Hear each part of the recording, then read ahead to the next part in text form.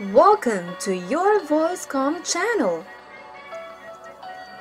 In today's video, we will be taking a short break from video lessons to address the unprecedented global crisis brought about by the COVID-19 pandemic, which poses a threat to economic growth and financial stability as it impacted sternly on different industries and businesses, and the health and safety of the country's entire population are at risk.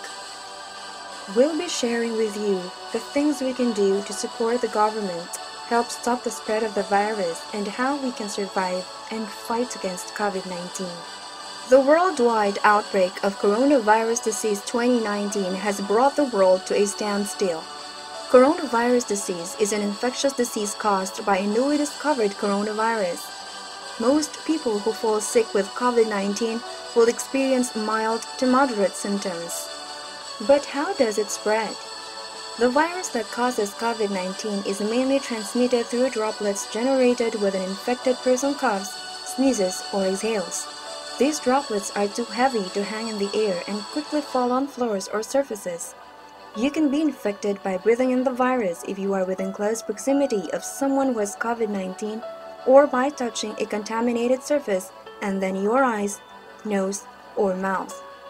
As a measure to limit the spread of coronavirus disease 2019 in the Philippines, lockdowns officially characterized as community quarantine by the government of varying strictness were imposed in numerous parts of the Philippines. The enhanced community quarantine is the strictest of such measures. The largest of these measures was the enhanced community quarantine in Luzon. Hospitality and travel are two of the biggest industries impacted by COVID-19. It also caused school, church, and restaurant closures. Manufacturing and construction have largely held off on layoff decisions, and millions of people had been facing acute food shortages.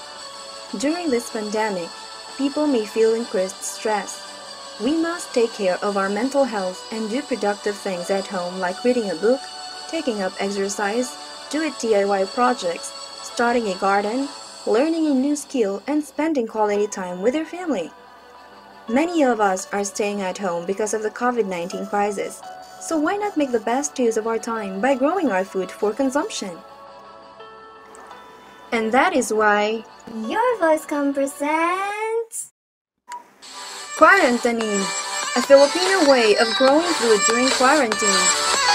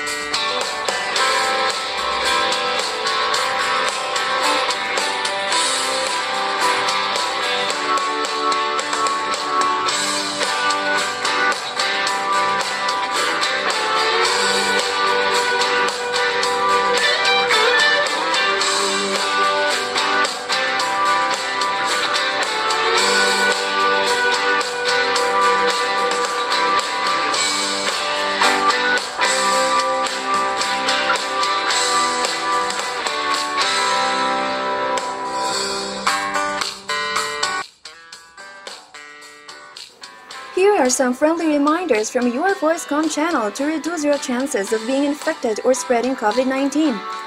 Regularly and thoroughly clean your hands with an alcohol-based hand rub or wash them with soap and water. Maintain at least 1 meter distance between yourself and others and always put your mask on. Avoid going to crowded places. Avoid touching eyes, nose, and mouth. Make sure you and the people around you follow good respiratory hygiene.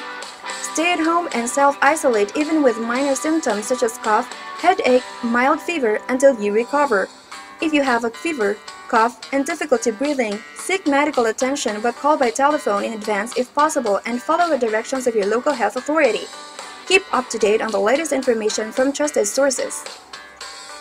And that ends our special episode on QuaranTANIM. This has been Miss V of UrVOICEcom channel saying thank you for watching and remember that plants help reduce stress and create a feeling of well-being. They also help improve air quality, so start planting and make your own QuaranTANIM. Like and don't forget to subscribe if you like this video. Stay at home and stay safe. Bye-bye!